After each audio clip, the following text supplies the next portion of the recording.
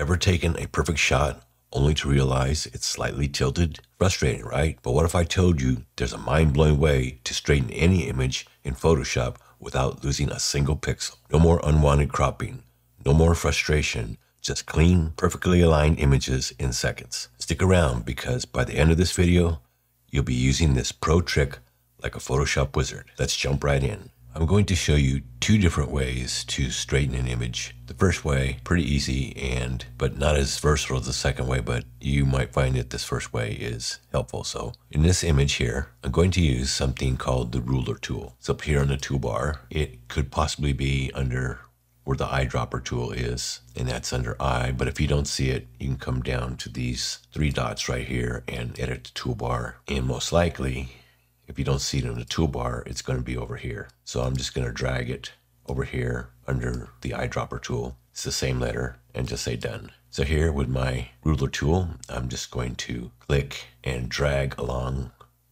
the line where I want it straightened. So it's right along the top of these stairs right here. And then at the top of the toolbar, it says straighten layer.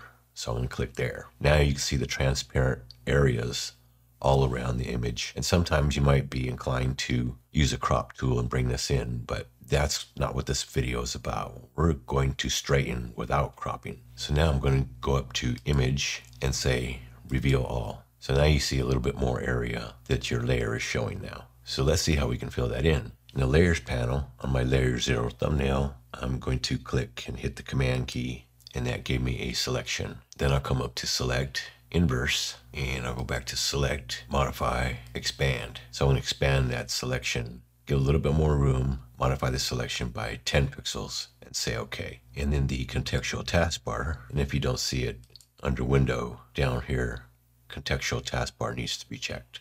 I'm going to click where it says generative fill and click on generate. If you have used generative fill before, you're going to have three variations. There's the next variation and there is the third variation. I'll just go back to the first, just because it looks as good as the others. And for each variation, you have three dots for each thumbnail. Click on that, and if you like the variation, you want something similar, of course, click on Generate Similar. Sometimes that area that it generated for you, the image quality isn't quite like the rest of the image, and you can click right here where it says Enhancing Detail. So this looks pretty good. So that's what you would do in this quick way using generative fill to actually fill in those areas that look transparent after you straightened it. So that's one method. So let's try that same method again with the ruler tool on a landscape. So with my ruler tool, I'm just going to draw a line where I think the horizon is. Click on straighten layer and come up to image reveal all. I'll hold down the command key and click on my image thumbnail and come up to select and say inverse. And in my contextual taskbar, click on generative fill and click on generate. So you can see how it filled in this image rather nicely at the bottom and on the right where there's more mountain and you have your other variations of course. So that way will work. Let's try another method. In this next method we're going to use the crop tool. I know we said we're not going to crop but we're going to use the crop tool. You can hit c for the crop tool or it's up here in the menu bar at the top left. And at the very top of the toolbar make sure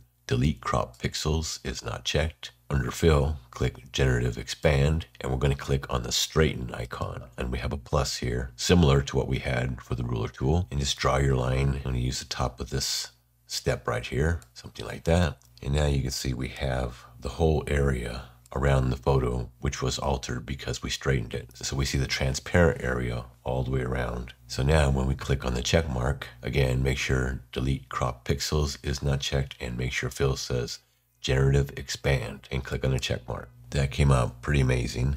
Here are the other variations. And again, I could generate similar and I can enhance the detail if I see any areas that don't look quite as sharp as the other areas of the photo. You never know when some of these variations will add in something that you kind of like some of the photo, but this one little area, there's a distraction. You want to remove that. Well, add another layer, blank layer, click on that, come up here to your toolbar, and you have the remove tool. That's one thing that you can definitely use. And you can use your remove tool to get rid of certain areas that are a distraction, but you still want to use that variation. Make sure sample all layers is checked, and I'm going to make sure generative AI is on. and click the check mark. So there you go. In this next example, we're going to use the crop tool again, but we're going to show it a little bit differently. Again, we're going to make sure delete cropped pixels is not checked. Fill, we're going to say generative expand and click on the straightened icon and I'm going to straighten it. But just to show you why you might want to use this method instead of just the plain ruler is that you can extend your crop. I'll just pull these edges a little bit, something like this, and I'll make sure ratio is selected and click on my check mark. So now I have straightened the image, plus I've expanded it or extended it using generative expand that's part of the crop tool. And you can see this image here where the shadow was extended, the sides of the mountain, the ocean over here on the right. So that's kind of an added advantage. Again, I didn't have the crop. I expanded it so I have a much bigger and better image. I still have my variations. That one's kind of nice. Even had a couple boats. I think I like using the crop tool better just because of the added advantage of using other features within the crop tool. And there you have it. A super simple, mind-blowing way to straighten any image in Photoshop without losing a single pixel. If this trick saved you time and frustration, drop a comment below and let me know. Don't forget to hit that like button, subscribe for more Photoshop hacks, and turn on the notification bell so you'll never miss a tip. Remember, it's never too late to learn. Thanks for watching.